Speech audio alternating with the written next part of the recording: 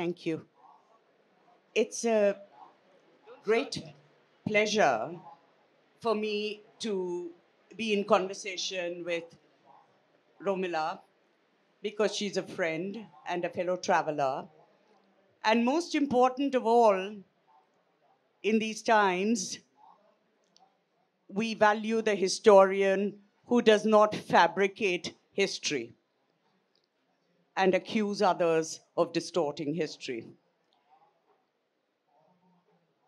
I do want to preface our conversation by saying that I'm here as an interested citizen, a writer, and I'm not an academic, I'm not a scholar. So, scholars in the audience, please don't expect a scholarly conversation. What we are hoping is to talk about the past insofar as it's used in the politics of the present. So, Romila, let's let's plunge in. And you know, when we used to be told that, tell me what your classic is, and I'll tell you where you come from. If I adapt that a little and say, tell me what your way of looking at the past is, and I'll tell you where you come from in the present. You know, I'm putting it in this fashion, but really, of course, we're talking about different ways of looking at the past to use in the present. Would you like to start with that? Um, thank you, thank you, Githa. Uh, it's, it's an absolute delight to be here, to have this conversation. Not can working. you hear me? Put it behind her. Ma'am, can I, can I have the cushion behind me? Yeah. Can you hold the mic a bit closer? Now can you hear me? All right. I was just saying it's an absolute delight for me uh, that I'm having this conversation with Githa because we often have conversations, but in the privacy of her living room and my living room. And I think this is the first time that we're chatting with each other with an audience. So um, you're into something very private, uh, which uh, I hope will amuse you and entertain you, and perhaps to some little degree also give you an understanding of what we're all about. Now, Githa asked me about uh, history, and I don't really know where to begin because it's a subject that one has read and taught and, and thought about so much. Um, but yes, uh, let, me, let me clarify one thing that one often, I often get people coming up to me and saying, You're a historian, and there are so many controversies these days. Where is the truth? And I have to say, I'm very sorry, but we are not looking for the truth with a capital T. Uh, as, or certainly in my case, as a historian, what I'm really looking for is how we understand the past. What happened in the past? How do we analyze it? How do we understand it? And that's really as far as I'm willing to go. I'm not into this question of looking for any truth anywhere or trying to reconstruct the reality because I don't think we can. The past is past and it's over and done with. We cannot reconstruct it as it was, but we can try and understand it. And that is really the important issue. But Romila, if I may interrupt you, um, after all, the way in which you frame the study of history, I think of uh, my own school days where they didn't call it Indology, though that was really what was Indian history. But we had something quite nasty called Oriental history. Uh, so if we look at uh, the various ways in which it's been framed. And before we get to all those ages, the Golden Age and the, the Mughal period age, which the current age hits, but also, of course, even before that, the court chroniclers. So, as we say today, historians, the official historians have always had an agenda. Indeed, they've always had an agenda which was not recognized early on, but that is the first question that we ask today. When we pick up a text, whether it is a Sanskrit chronicle from the pre Islamic period, whether it is a Persian chronicle, the first question we ask is we read the text and we say, What is the agenda of the author? Uh, these are new questions. Who is the author? What is the agenda? What is the purpose of the text? And very important, who is the audience that the author and the text is addressing? Um, and this gives you some idea of the complications now of looking at texts as sources. You don't go to them and say, in such and such a text, it says this, this must have been what happened. Not at all. Your next question is in such and such a text, it says this. Did it actually happen? And how do we test whether it happened? And this is very important. And here, yes, the agenda does govern the reading of a text. We originally had ori- Orientalists, we had Indologists who did first rate work in finding the texts, in analyzing them up to a point linguistically, and in giving us the information from the texts. Then the agenda changed to we're not satisfied only with information, but we now want to know what is the approach of the author, what is the purpose of the text. And so you had a whole tradition of colonial historians who wrote at great length about the purpose of these texts and made certain statements, and some of these sta- statements were disapproved of by the nationalists. So you had nationalist historians who questioned what the colonial historians had said. And then came along my generation that said, wait a minute, the colonialists and the nationalists are both making mistakes. They're not reading the texts the way we would like to read them. And so we gave a fresh reading to the text, putting it into context. Um, and that has done something very interesting, which the general public is not really fully aware of.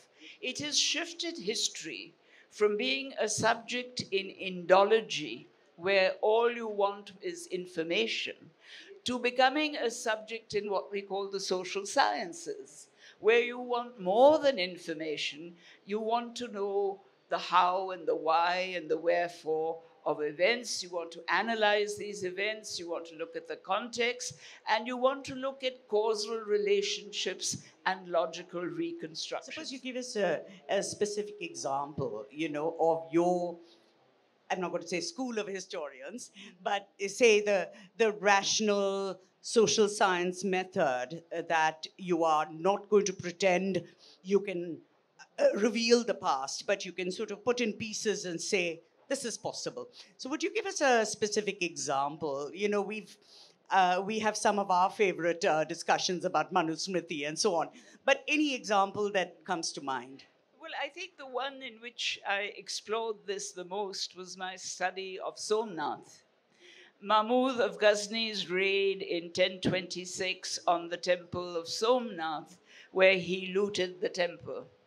And uh, according to the Persian chronicles, which were the only sources that were used for a very long time, uh, there were descriptions of the temple and what was raided. Uh, very interesting that each chronicle changed the description of what was there. One said it was a Shivalingam, another said it was a pre Islamic Arabian goddess in a, in a formless form. Um, somebody else said it was something else, and so on. They couldn't quite make up their minds what it was that Mahmud of Ghazni has, had raided, except for the basic fact that the temple was very wealthy and they raided it for its wealth. All right.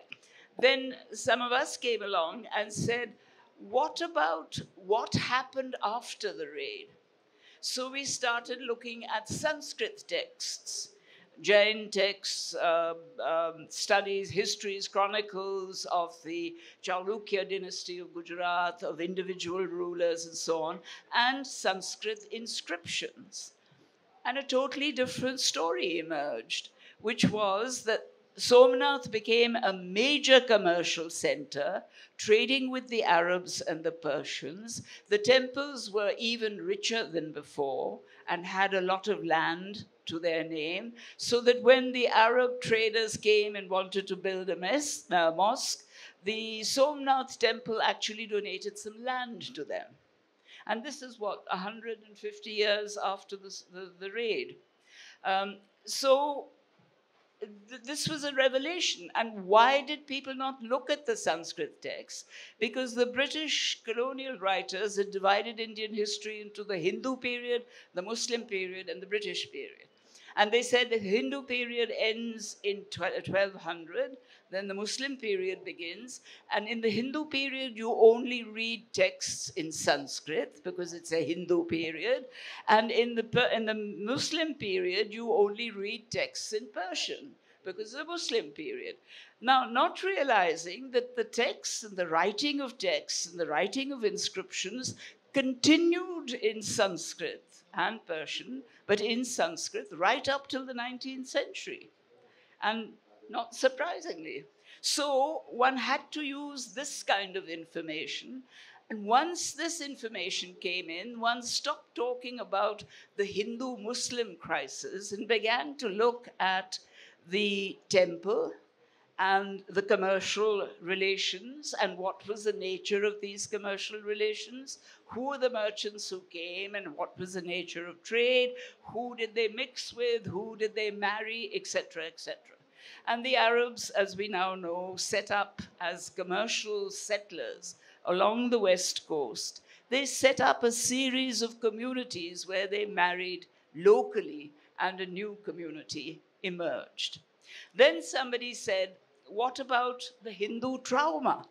Because the colonial writers had said a great deal about how Mahmud of Ghazni's raid created a Hindu trauma which was so uh, strong that it became the basis of Hindu Muslim antagonism for centuries to come, starting in the 11th century. And I went through all the texts, I could find no reference to it. There's no reference even to the raid, in fact. Um, they describe the destruction of the temple in various other ways. And then suddenly I chanced upon a debate in the House of Commons, 1842, in which a member in the House of Commons, the British Parliament, asks a question and says, Did this raid not create a trauma amongst the Hindus? And then the colonial writers picked this up and started talking about how it created a trauma amongst the Hindus. Then the nationalist historians picked it up and also started saying it created a trauma amongst the Hindus. And that, that brings us to present times. And that brings us to present times. Romila, two things from what you've um, uh, been talking about. One is, of course, the uh, that colonial division of the Hindu period and the uh, Muslim period, to say nothing of the golden period, which I personally loathe. So I think we should refer to that as well. That has made it possible today to, um, ironically, the so called nationalists today actually are using a, a, a colonial schema. That is one. And then the stroma you speak of also seems to have some link with the this narrative of Hindu victimization that we are getting all the time.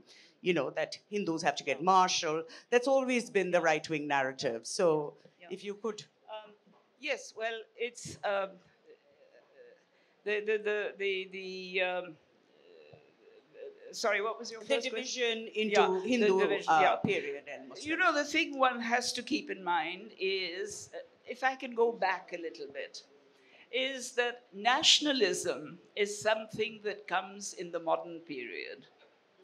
We cannot talk about nationalism in the Mauryan period, in the Gupta period, in the Chola period, in the Mughal period, and so on. Absolutely not. Nationalism is a modern concept, and it's a way of binding a people together and creating a nation. What existed before was kingdoms and states, but not nations. Nations come into existence in about the 18th century.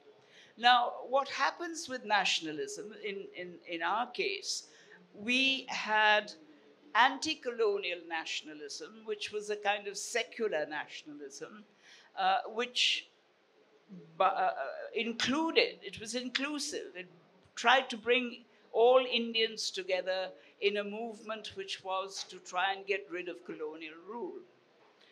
Now, side by side with that, and encouraged by colonial rule, was what we call religious nationalism. And it took its root in the Muslim League for Islamic nationalism and uh, the Hindu Mahasabha, which was Hindu nationalism. Now, religious nationalism is very different from secular nationalism, anti colonial nationalism, because anti colonial nationalism is inclusive, it brings everybody in as much as possible. Whereas religious nationalism is catered to a particular religious community. It's confined, it's exclusive, it only relates to that one religious community. Therefore, there's a fundamental difference. Now, history is absolutely an essential feature of all nationalism. Uh, the great uh, European historian Eric Hobsbawm has a lovely uh, statement on this. He says, History is to nationalism what the poppy is to the opium addict. It is the source. It is the source of trying to think of uh, how to bring people together. And because of that, because of the centrality of history, very often what happens is that your religious or your linguistic um, uh, or these days caste nationalism tends to create new histories, fantasy histories. And these are playing havoc, of course, with the, the uh, genuine history, genuine in the sense that the well researched, well thought out history based on hard evidence. As against that, you have these histories which are more myth than history. Um, and they play this kind of role. Now, this is where, of course, in our kinds of societies, history becomes a very central issue. Um, I've often thought about the fact that when I went in to study ancient Indian history, this was the middle 1950s, everybody used to say, Oh, you've taken the easy way out because nobody knows about that history. You can say what you like. Now I find it is the most contested history. It's precisely it's the nationalist uh, tradition of having to have a golden age. And so, in the Indian case, you were hunted around for a golden age, and then you located the Gupta period as the golden age. Um, this is very essential. All nationalist histories have a golden age. With Europe, it's of course the Greco Romans and so on. Um, so these kinds of issues come in.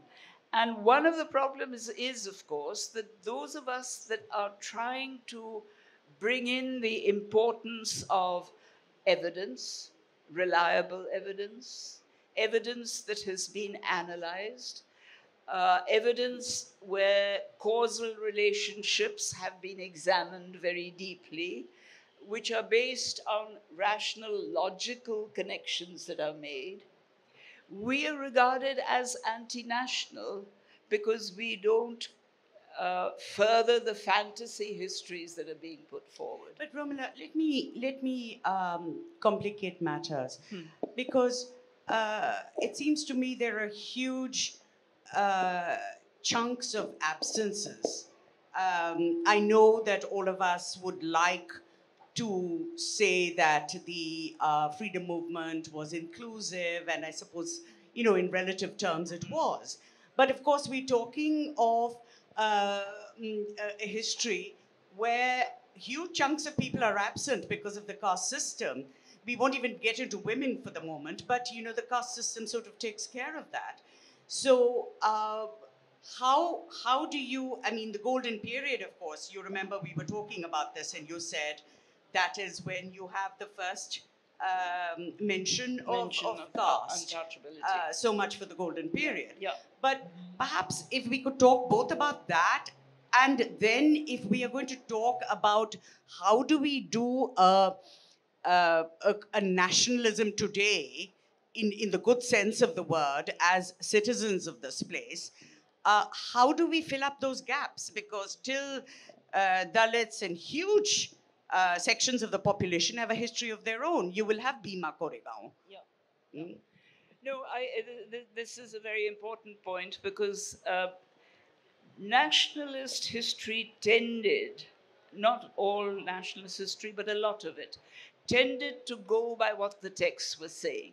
So if the Dharma Shastras are describing society in a particular way and giving much more publicity to the upper castes, uh, there was a tendency for historians to say, yes, that is how society functioned.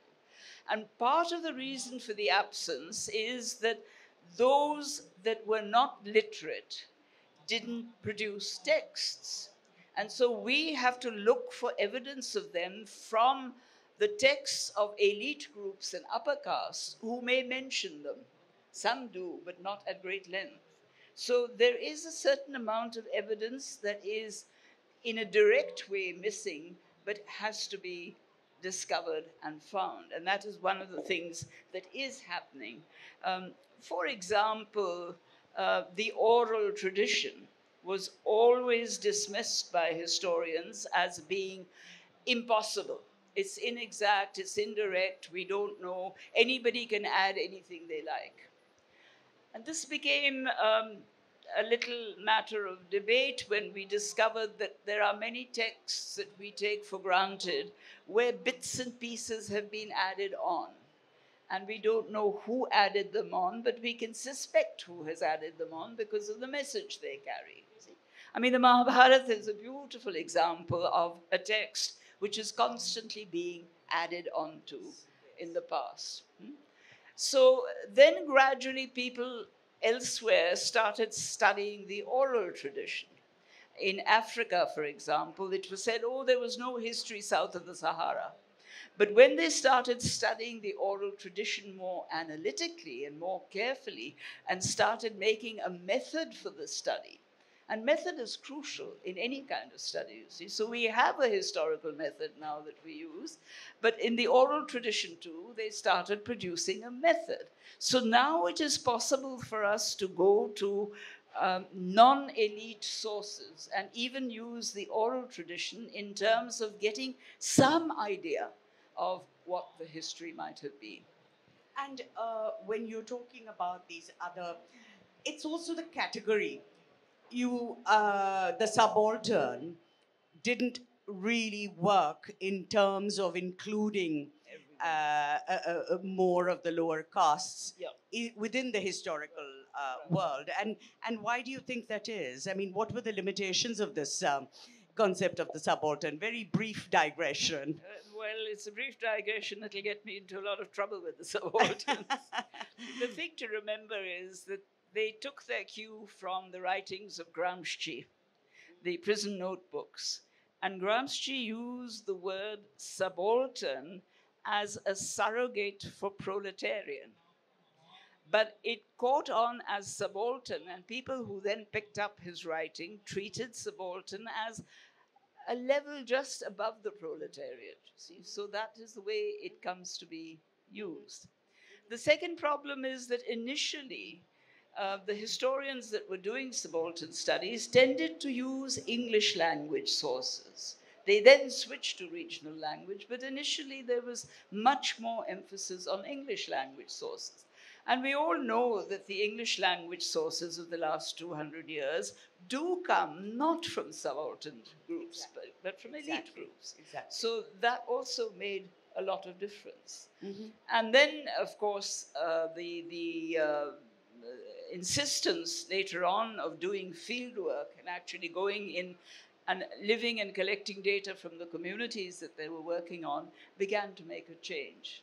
But by, by that time, subaltern history was beginning to fade away, and there are new schools of history that have come in. But Romila, if I may stay with caste a little bit, Mm. because I think um, that here it is actually important to go back to the past, and since you know you're the perfect person to tell us what are the ways in which this completely extraordinary system of stratification, which is our negative contribution to the world, like apartheid from South Africa, what were the strategies that actually allowed them to make this an institution which has lasted forever and is well and alive today? So that inherited pollution, the lack of mobility, you know, if you could, if you could tell us in this modern historian's um, Yeah, well, it's, it's paradigm. It's, perhaps a little difficult because it's still being worked out. So, um, I'd make two points. One is that all societies have stratification. So it's not very unusual that Indian society also had stratification. The second point I'd like to make is that all stratifications are subjected to being changed. So the old idea that we had that caste as varna, as described in the Dharma Shastras, was uh, something that made society static and was always observed, come rain or come shine. This is completely untrue. We have enough historical evidence now to say that within each of the four varnas, for example, there were very substantial changes going up and going down. So we really have to re-look the whole caste stratification and see what these changes were. The second point I'd like to make is that there's always been this contention between jati and varna. And jati was always treated as a subcaste of varna. But now people are beginning to ask the question say, if we say that the original stratification was jati, based on extended families, clan systems, all, all these early forms by which society was divided. And Varna then came in as a very deliberate design and strategy to demarcate groups of people from each other. So the two things are different. They, they play along in a different way. All right. Now, the interesting thing about um, what is called avarna Exactly. I was Uh, just waiting for you to get to that. yeah. Savarna is, of course, the uh, the four castes that are, that constitute Varna. Avarna is the group that is not given a status in caste, and which is outside society. Um, we have very interesting references to, for example, the Chandala, who was the characteristic person who was regarded as the Avarna. Accompaniment. Uh, the Chandal always lived outside society, but in the beginning, not so much. He was regarded as low caste, and that was it. Uh, there's a very interesting dialogue in the Mahabharata, for example, where um, the, the sage Vishwamitra, who's been performing tapasya like mad because he's trying desperately to, you know, acquire so much merit that he becomes a major sage. There's a famine in the land. He's desperately hungry. He comes to a Chandal hamlet. I think this is intermission. Do, do you think we could quieten that?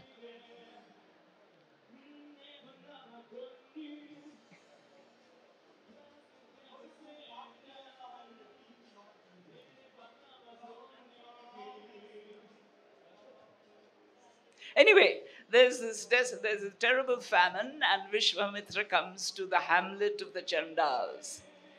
And one of the houses, he sees um, dog meat hanging, the meat of a dog. And he's just about to grab it, to eat it. He's so hungry that the Chandal comes out and says, Wait, what are you doing? If you eat that meat, you will lose all the punya of your tapasya that you have been gathering by doing this very intense tapasya.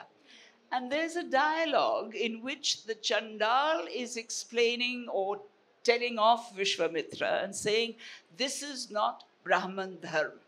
This is not how you're expected to behave, and explains to Vishwamitra why he's saying that this is not the way he's expected to behave. Finally, of course, Vishwamitra eats the dog meat and then says he will double up on the tapasya and get back his merit. Now, the interesting thing is that in the Mahabharata, you have this little dialogue. This would be unheard of in the Gupta period and certainly unheard of today.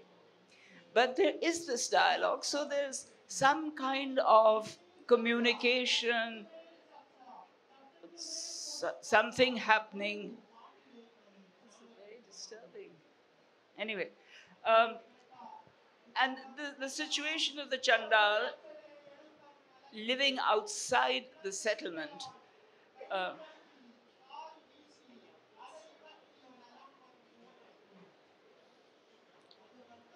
I think these conversations are best had in a in a quiet space. I'm so sorry. You must be getting disturbed as well. Are we losing our trend of thought as well? no, it's all right. All Yeah. Okay. Uh, so, by the Gupta period, we have a very interesting description from a Chinese Buddhist pilgrim who visits India, and he says that they have a category of people whom they regard as very polluted. Now, remember, the Mahabharata story isn't talking about the pollution of the Chanda.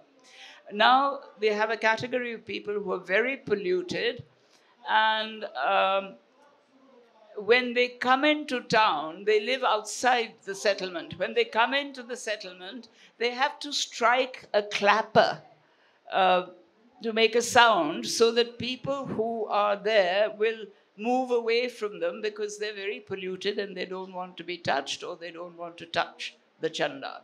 Okay. And it's in, in the Gupta period also that you begin to get references to, in the Dharma Shastras, you get references to what are called the asprishya, not to be touched. And that was the point that I was making that this is your golden age, and an age where lots of admirable things are happening, whether it's literature or art or philosophy, or certainly something that is a, is a remarkably uh, brilliant age. But on the social side, this is happening. And my question has always been that what kind of society was it that allowed the two things to coexist? This I haven't understood, I must confess. They couldn't. Um, I, I remember when you told me that they couldn't leave. So Mm. um, Yeah. it's not as if they could say, "Well, uh, we've been treated badly here. I'll get up and go," Yeah. which is, you know, uh, religious persecution has Yeah. seen waves of people going elsewhere. But caste. Um, Well, no, they couldn't get up and go for the simple reason that they were regarded as genetically polluted. That is not the individual polluted, but the child that is born of these two Asprishya parents is automatically polluted. So there's a genetic pollution.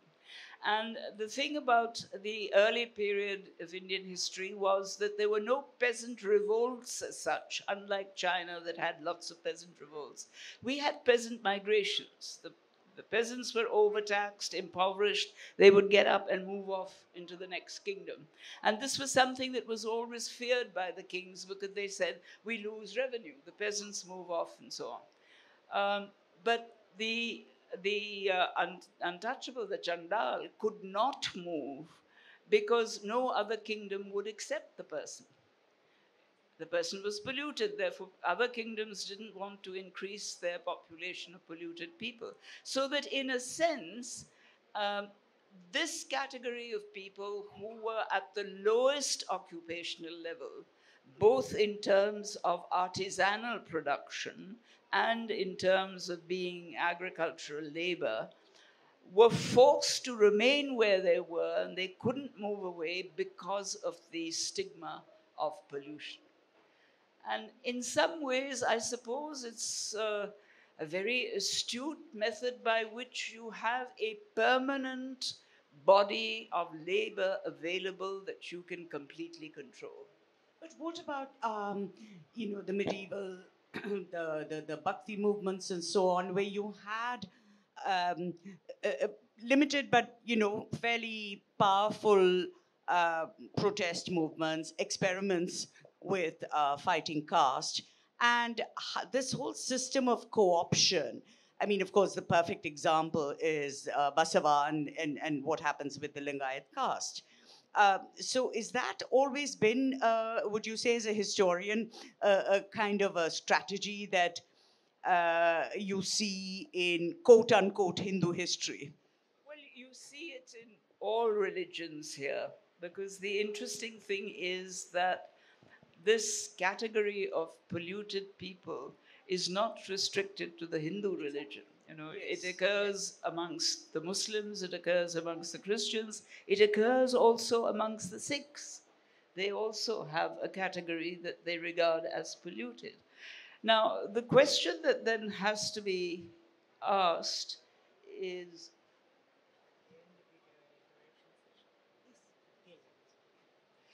um, the question then that has to be asked is First of all, was this a religious movement or was it a social movement? Or was it a mixture of the two, as I think? You know, one using the other, one giving strength to the other. Um, and uh, uh, if, you, if you argue that, then it partly explains why even imported religions who are not using this idea outside are using it in India because they're continuing the social basis of what is going on in India at that time. Um, and I think that that is uh, an important category to, to, to keep in mind that there is this continuation that's Romila, I want to change tracks a little. I was hoping to talk about myth and literature also, but of course we have to give the audience a chance to ask you questions as well. Um, I thought we would come to the present quite clearly. And talk about, not romanticize about our great secular tradition and so on, though there is, in fact, a materialist uh, tradition, and the word tradition itself is a bit of a problem, and I was hoping we'd talk about it. But perhaps we could talk about the role of the public intellectual, the role of uh, university spaces, educational spaces, and combined with that, what sort of public discourse should we aspire to? Because that seems to me a huge problem we have today when talking about history, literature, culture. Yes, I think, I mean, when I look back, God knows I have enough years to look back on, 60 at least. Uh, after independence, there was this very strong feeling of what is the kind of society that we're going to build there were the two issues that were very important. One was who are we as Indians? Uh, what is our identity?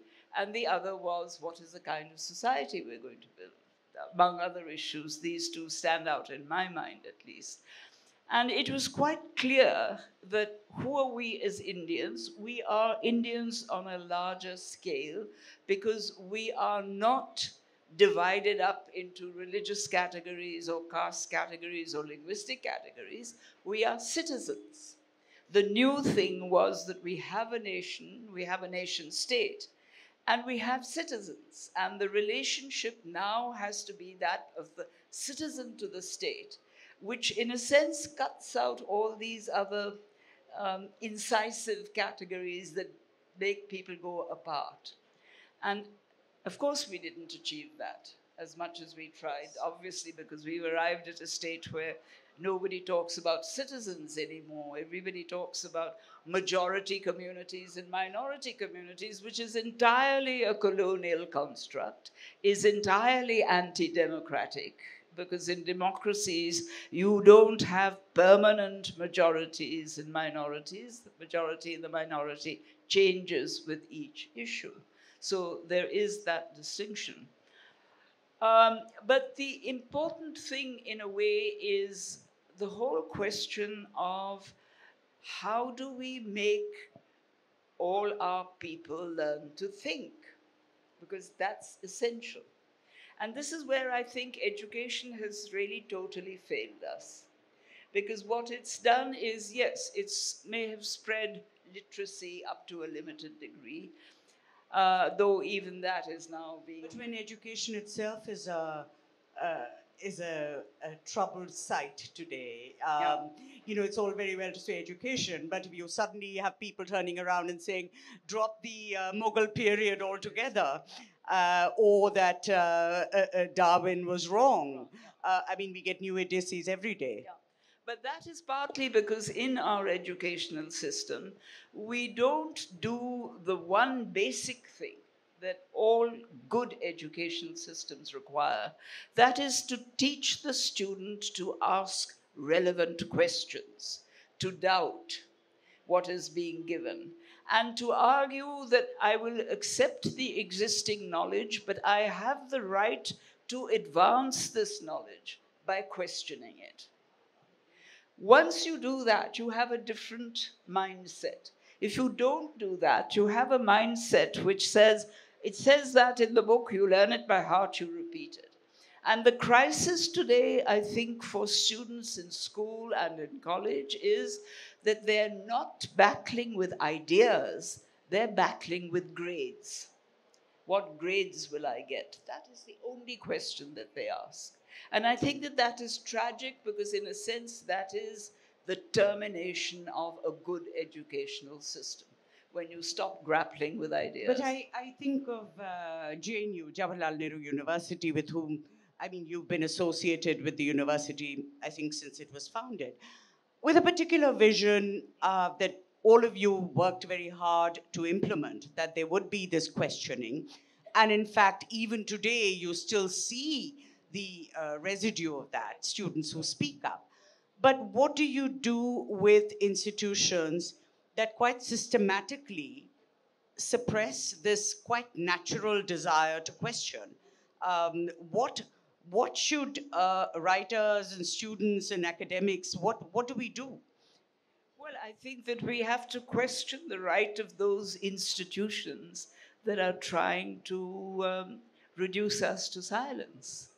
That is really very necessary. I mean, I don't mean that, you know, we go out and, and uh, uh, indulge in violence and that kind of thing. But I think that central issue of questioning the right of institutions to determine silencing other institutions or diverting them in a way in which they become ineffectual. That right has to be exercised. And this is really where the whole question of the public intellectual becomes very important, because it's a right which is not to be exercised only in the university, it must have a social banking, backing. And it will only have a social backing if, in fact, people, the public, understands what the issues are if people understand that if you're converting your universities really into um, non entities, why are we paying all this money for university education? We want university education, which is an education that teaches us how to question, how to think, how to move knowledge ahead, whatever knowledge it may be. But if there are institutions stopping that, then we have to question those institutions. I think that's that's a good point at which to stop that really all of it comes together uh, with the point of knowledge and how do you seek knowledge it's not something which is ready made and there a few people hold but it's it's something we're all working towards whether it's in the imaginative uh, world or in the social science world. Um, do we, shall we take a few questions uh, in a cluster and then um, are there any? Yeah. Yes, uh, we're going to privilege the young ones, but you have to be clear and loud and brief. Yes.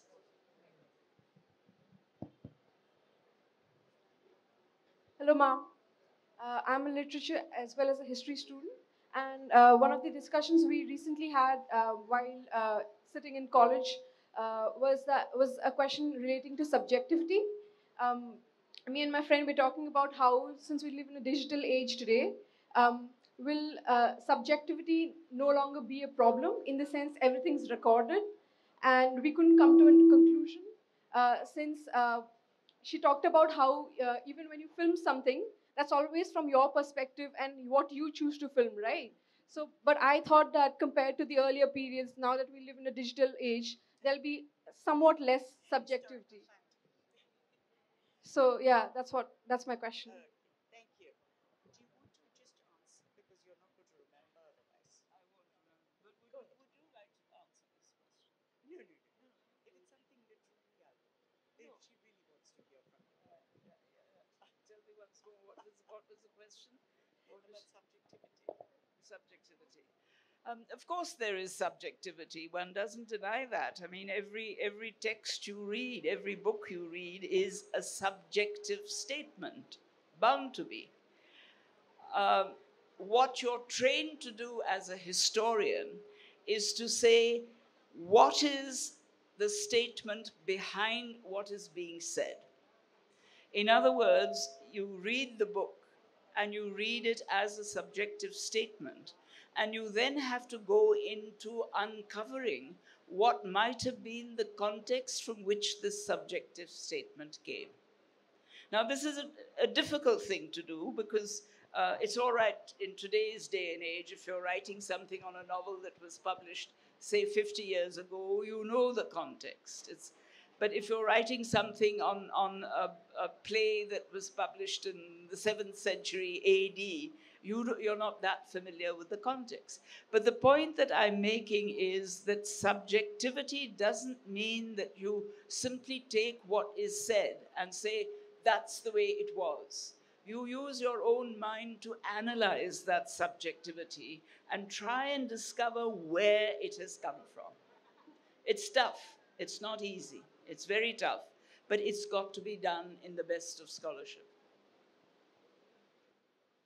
You're not convinced. No.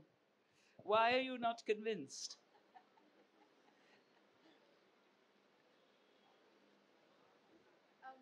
Uh, do you want a response? Ma'am, do you want a response? Okay. Shall we come back to you if uh, nobody else is asking questions? There's Yeah, lots of people waiting. Uh, let's let's be equal. There's a young man here. Yes. Yes. The young man in the white shirt who's anxiously standing. Yes. Go ahead.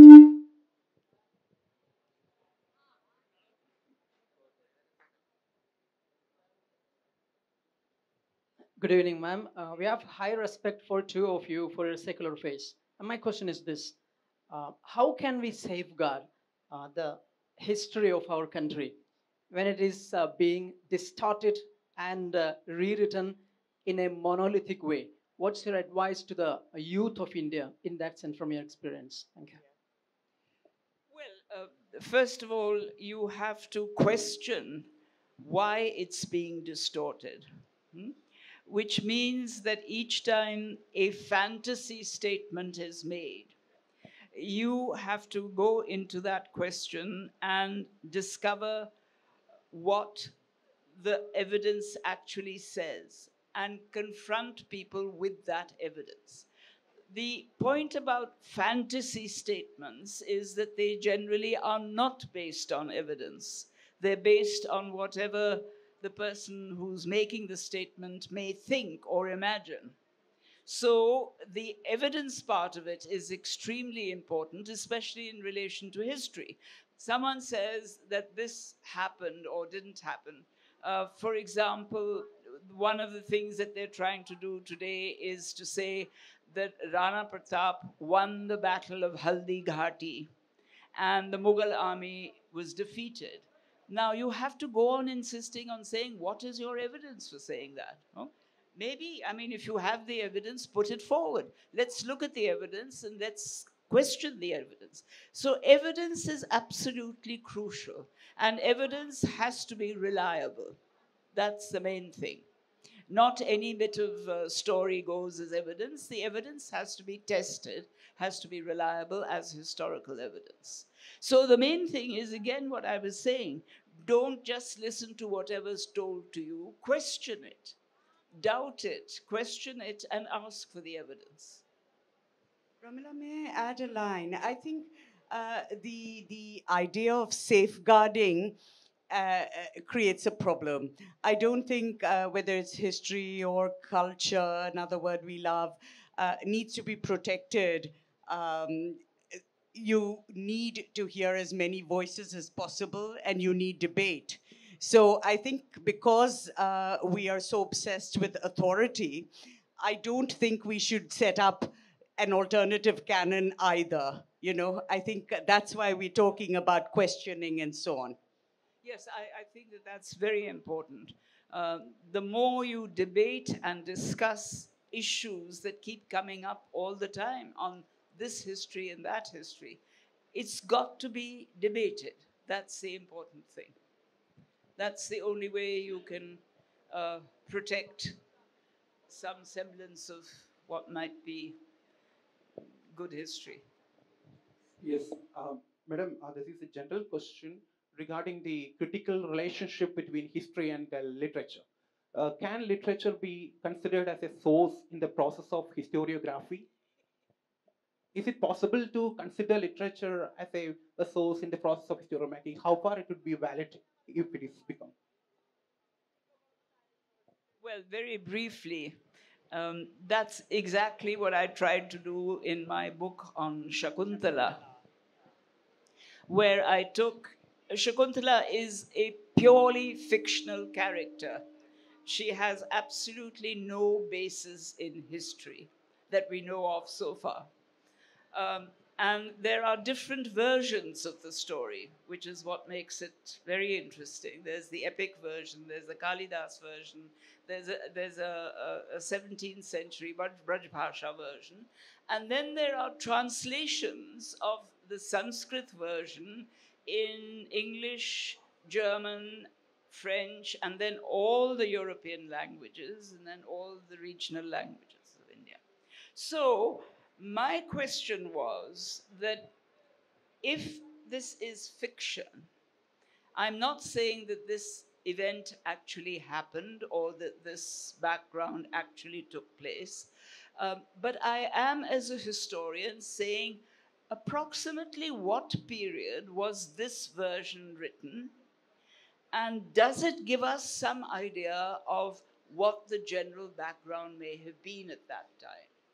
What I mean by this is that if you compare, for example, the epic version of the story with the Kalidas version, the epic version is one in which she's a very forthright young woman who comes out and tells him what she really thinks of him. Okay, she may be in love with him, but this is not going to carry her away in any way. And when she takes the child to the court, they settle down to an abusing match. And the abuse is really quite impressive. I mean, it's in the Mahabharata, but nevertheless, um, they abuse each other. And then finally, she says, uh, I don't care. I'm telling you the truth. I'm going to leave the child here. You do what you like. You make him your successor or not. I'm going. And then this celestial voice comes in and says, She's telling the truth.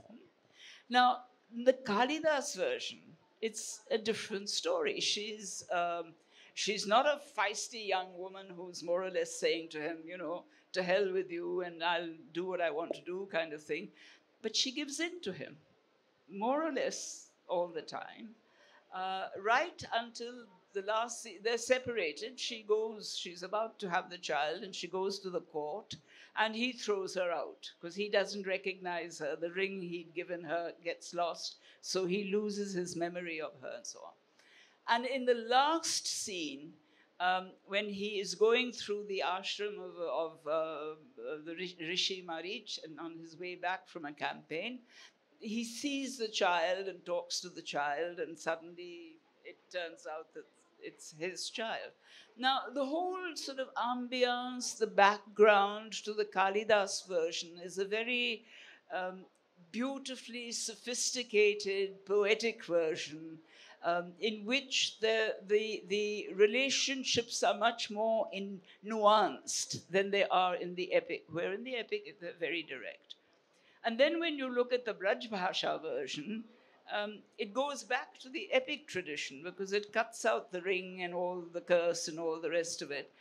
And there you have, you know, this young woman from the village who's a no nonsense woman and it comes through beautifully in the Braj Bhasha tradition. And it's quite different in a way from the Kalidas tradition. Now, that made me think that, you know, even in fiction, um, you don't take it literally and say this is exactly as it was in the very early period, and then in the Gupta period, and then in the 17th century. But it does give you a little idea of possible differences that may have a a historical background as the reason for the differences. And therefore, I am certainly somebody who thinks that the historian should read literature and should try and bring literature into at least the margins of the kind of analysis that the historian is doing. But Romila, in the Braj Bhasha version, is she less of a vessel for the uh, exposition of lineage because in, in the Kalidas version, that's very clear. She's only there to be the mother of. No, in, in the Braj Bhasha version, it's really much more a kind of um, we're all having fun together and we're calling each other names and that kind of thing. No, the lineage thing is not so important. Yes. Uh, madam, you have wrote a lot about ancient India. Here. You have wrote a lot about ancient India. Recently, our Prime Minister claimed in Parliament that democracy was practiced in ancient India. There are similar arguments in national history books that some sort of uh, democracy was practiced in India. What is your take on this? The, the crucial point is some sort of democracy. What sort of democracy? Say nothing of India. to say nothing of India. Yeah.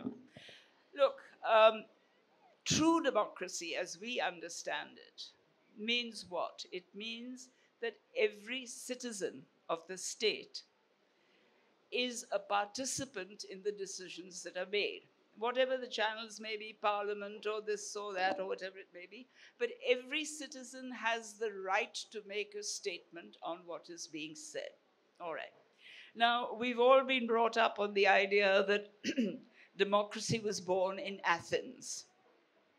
Nothing could be further from the truth. I mean, talk about the truth being maligned, but still, this is all part of European nationalism of the 18th, 19th century. You know, the Greeks and the Romans were the ideal society. Therefore, democracy, which was important in Europe in the 18th century, had to be traced back to the golden age of the Greeks. So it was Athens. Now, what happened in Athens was that it was only the free person who was given the rights of democracy. Um, the free citizen, the, the free member of the state of Attica, Athens.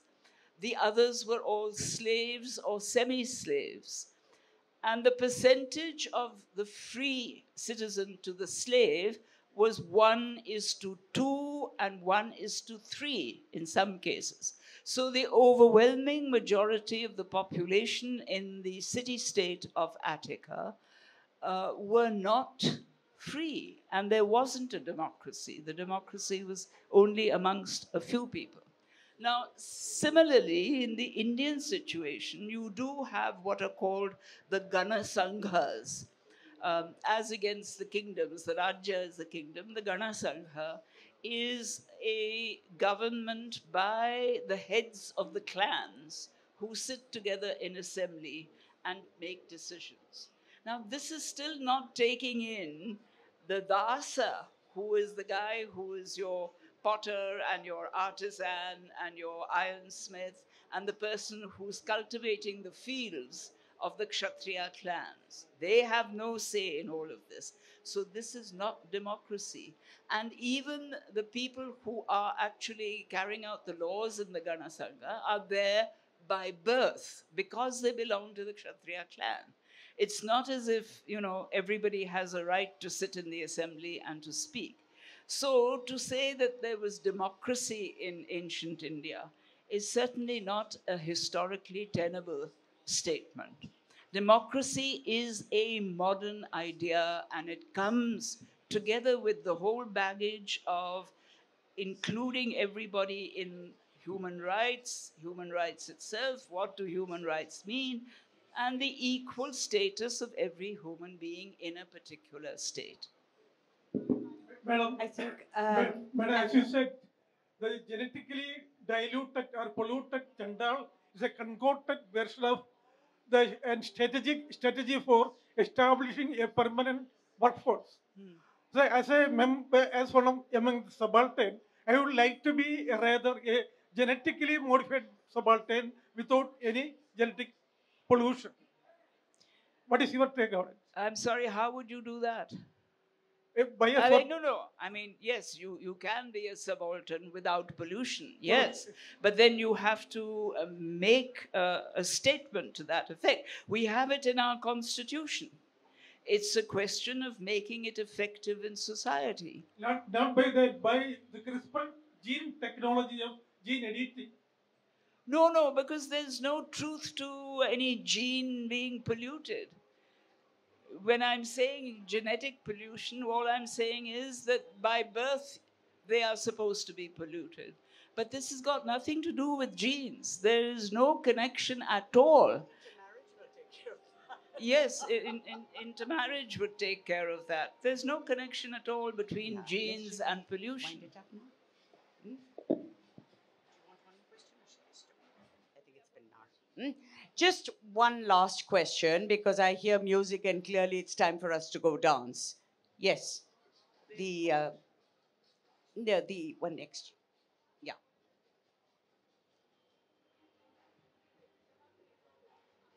Um, uh, so when it comes to making uh, movies based on history, uh, where do you think a filmmaker should draw the line between using their creative freedom and um, anachronisms? This is, of course, linked with the question about uh, literature because I assume you're thinking of Padmavat. Uh, I'm sorry, it's just to add to a question. I would love to enjoy Sanjay Bhansali's films as something as just an aesthetic movie, but I have this sort of anxiety about how it's being consumed by the public, where uh, maybe sorry, it seeps into their subconsciousness and people start justifying certain practices. So, do you have the same sort of anxiety or worry um, regarding historical films? I have a tremendous anxiety. She enjoys Bhansali's film. We're just being mischievous. We're having anxiety about your enjoying Bhansali's film.